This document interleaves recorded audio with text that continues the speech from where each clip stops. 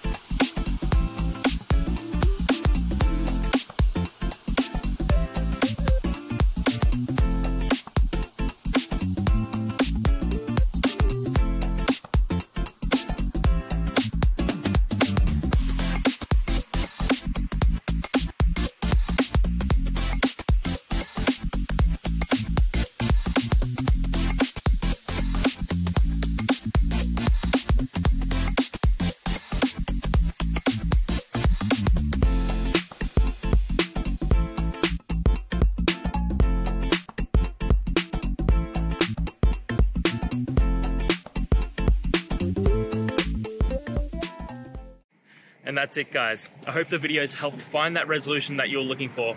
And if it did, please hit subscribe. I'd really appreciate it. Now, until the next time you need a technical video, I hope you have a good one. Cheers.